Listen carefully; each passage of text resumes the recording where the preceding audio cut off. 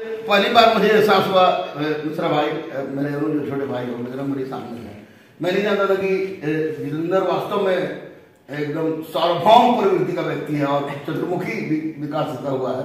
तो दिव्यांगता कहना या विकलांग कहना मानसिक रूप से दिव्यांगता का परिचायक होता है मुझे पता चला और जब पता चला कि ये विजेंद्र कुमार एक शानदार जानदार ईमानदार यूट्यूबर के साथ साथ एक बढ़िया लिखते भी हैं। तो आज मैं चाहूँगा कि हम दोनों भाई का नाम लिखे, अपना नाम लिखे। एकदम सौभाग्य होगा।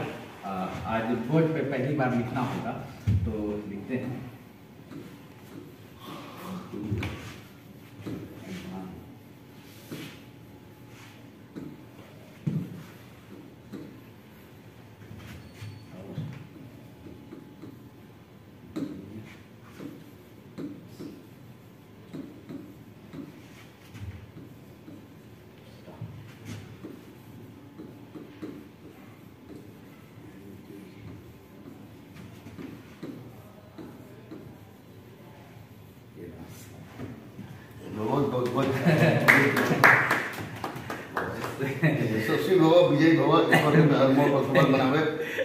दोनों भाई हमेशा तुम्हारे साथ thank you sir thank you sir